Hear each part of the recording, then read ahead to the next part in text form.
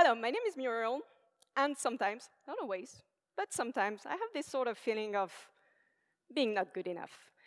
So as a player, it usually starts with something physical, my costume being off, not looking fancy, accurate, impressive enough. Uh, then it can extend to performance, feeling that I didn't bring enough to the game because maybe I was tired, maybe I had a bad week at work, uh, missed opportunities. And then, as organizer, it extended here as well. Imposter syndrome, being afraid of not getting it right. Um, everything within the realm of general performance and performance anxiety, like right now. um, so I'm, I'm using anxiety in a loose sense of term, being perfectly aware that it's not necessarily rational, being perfectly aware that I also have most privileges than most, but here you have. And, and I also often feel that I'm not alone in this. Uh, I don't have any numbers, I didn't run any survey, but I went to I went online to LARPA BFF, maybe you've heard of it, uh, and I just made a research with anxiety and stress as keywords, and within 10 minutes I had very, very, very varied motives of anxiety, such as people feeling anxious about hearing others um, post-LARP war story, organizers feeling stressed uh, that other people were running similar game at the same time as they were, uh, people feeling anxious about the fact that a lot of people hug each other at the end of the LARP and they felt uncomfortable with that. Uh, people feeling anxious about writing their own character, uh, perf general performance anxiety, connecting to everything from uh, engaging in the LARP to preparation and costume. Uh, LARP criticism, I'll get back on this, put a pin on it. Um, and especially introversion and how to manage a very social activity such as LARP when you're an introvert, which I can very much relate to. And so it definitely felt quite common, and, and usually it's a knowledge. And people are very sympathetic over it, very caring of each other, which is great. But most of the time, it feels to me like it was still considered as an individual issue and not necessarily a systemic issue.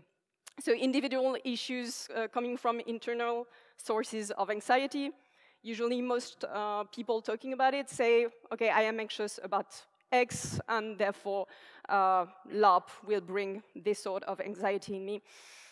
Um, being also a knowledge that uh, anxiety is a very subjective emotion, and obviously not LARP are created equal in this regard put a pin on it.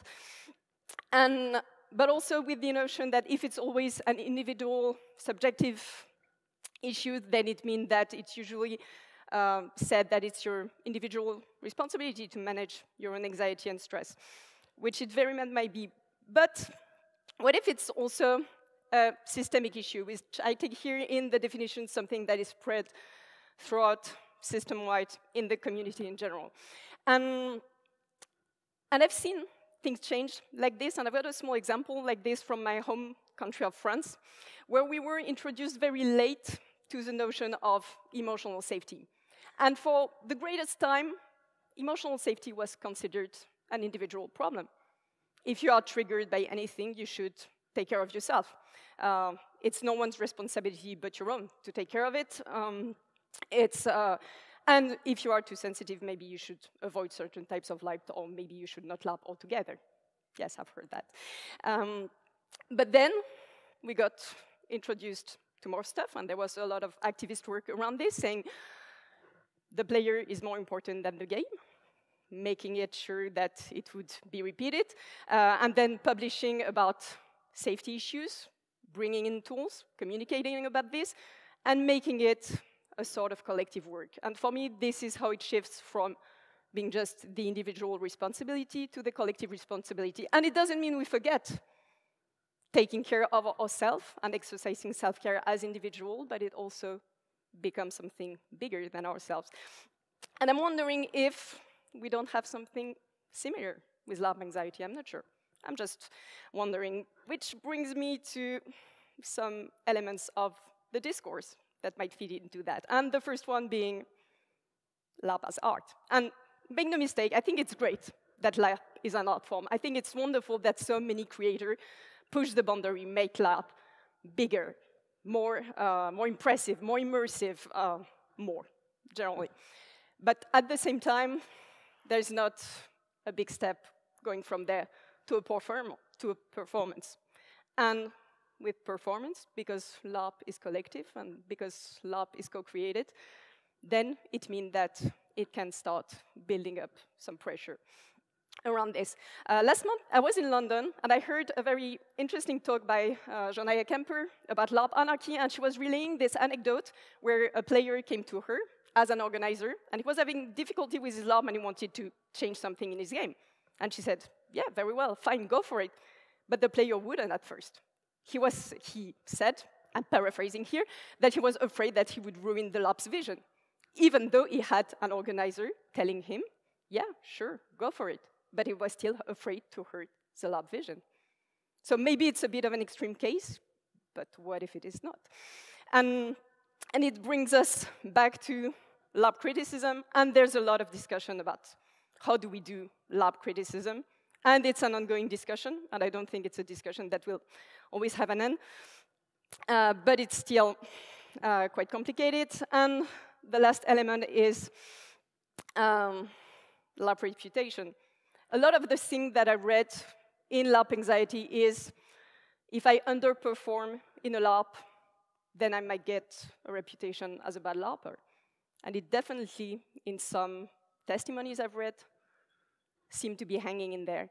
And, and in a way, I sort of hit a wall of a contradiction between, on the one hand, we want to say, of course, LARP is inclusive, and everyone should LARP because LARP is awesome. And on the other hand, we said, but we want LARP to be bigger and awesome and, and to be a form of art. And how do we reconcile that?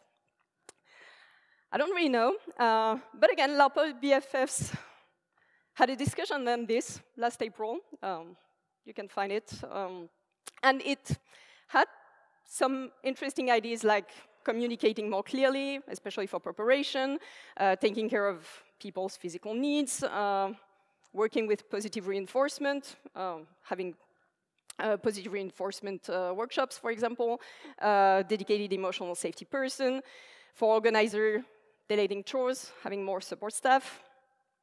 Uh, and then there were also something interesting in the hype management, acknowledging that nobody can get really hyped and it's perfectly okay. And Maybe also trying different communication channels because the hype management issue is especially very pervasive on Facebook. Um, and all these are good things. A lot of things are already be done, but apart from the last two, most of them were still talking to players' individual needs. But then when you say we should acknowledge that no one, not everyone needs to be hyped, then there was a bit of a discussion about the collective. But it still felt quite timid. And, and again, I'm wondering if it's something that it should be. And like I said earlier with the comparison with emotional safety, I believe it can be done because I saw things change. And for example, again, for myself, I grew up in a LARP culture that didn't have any emotional safety, and yet I learned about it. I learned that the player is more important than the game, interiorized it, accepted it. And I'm hoping that in the same way that I said to myself, the player is more important than the game, I can say to myself, you will always be good enough for the game. Thank you for your attention.